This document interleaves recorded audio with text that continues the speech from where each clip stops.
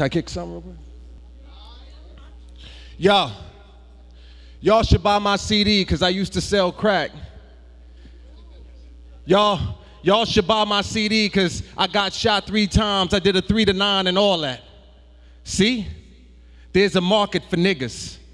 There's a market for niggas that target figures which purchase $100,000 jewelry. And $200,000 automobiles don't fool me. I know pain when I see it. And he would probably give it all away if he hadn't signed his life away just to realize that a million dollars was a small price to pay for his dignity.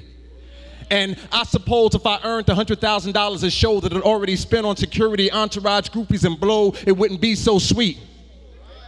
And I, and I hope dead President Talib Kweli realized that it's not that black people don't like positivity, it's simply that we often don't have the disposable income to purchase tons of CDs. But, but little rich white kids buy CDs 10 at a time. And the more ignorant the nigga, the more they get to piss off their moms. So if his song calls his mother a sister a bitch or says he's willing to kill his brother in order to get rich, that just makes it even better. The bigger the monkey, the bigger the money. Just throw cash at him, watch her take off her dress, just throw cash at him, watch him expose his chest. Somewhere right now, there's a prostitute sniffing blow in order to take her mind off of how she earns her living.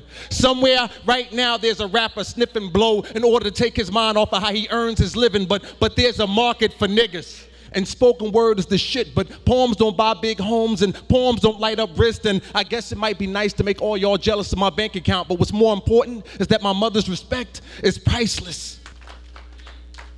And it used to be back in the days that you could cover your face with blackface and red lipstick, and black people would hate you, but you would surely get rich. Just poke out your lips eating watermelon, and that would guarantee that your show was selling. And right now, if you're effectively rapping about gun clapping other black men, say no more, nigga. You platinum with half a dozen racist billionaires willing to back him. Tell me how that's any different than back then. The more he shows his drawers, the more he gets applause. And if he's willing to play the role of society savage, then society will make him a star because there's a market for niggas. Just, just write some bullshit. There's money to be made in convincing black people that Jill Scott does not exist. Because if a young girl knows she's golden, she won't allow herself to be called no bitch. But, but, but it's only common sense that if you take away her self confidence, she'll believe that dropping it like it's hot for a soldier is an accomplishment.